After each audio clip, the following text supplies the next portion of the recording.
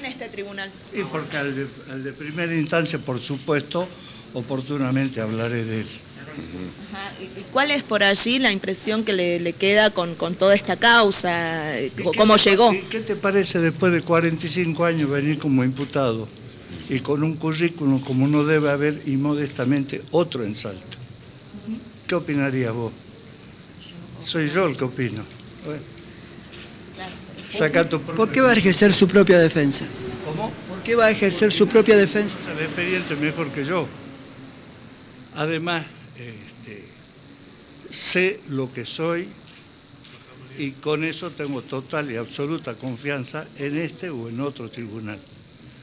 Pero tribunal así, eh, que sea serio y que no busque hacer estadística. ¿Por qué dice que los otros jueces no fueron serios, doctor? ¿En qué se basa? No, yo no dije que los otros no fueron serios. Vos siempre me arrancás algo que yo no quiero decir, son conclusiones tuyas.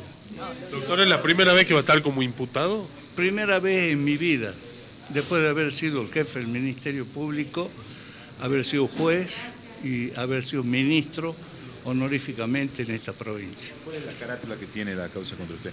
Y bueno, yo que yo lo colmé al juez, hablando para que la gente lo entienda. Pero cambiaron la figura de coche por la de concusión. ¿Eso qué significa? Mira, lo, importa, lo importante es que yo vengo como imputado, aunque sea por, no soy funcionario público, pero si vendría como, como incumplimiento de deberes de funcionario público estaría re mal.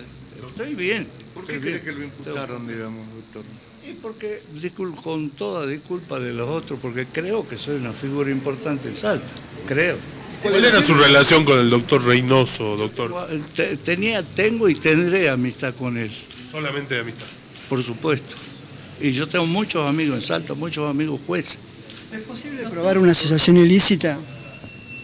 en absoluto, en absoluto. Todos sabemos. Ustedes, los que hacen parte de tribunales, saben que en el país no hay condena por asociación ilícita. La prueba es muy difícil. ¿Va a declarar, doctor, en el inicio del juicio? Ahora no, no en, su, en su momento, después que se hagan todas las pruebas que yo quiero que se hagan en las dos causas que me imputen, ahí sí voy a declarar.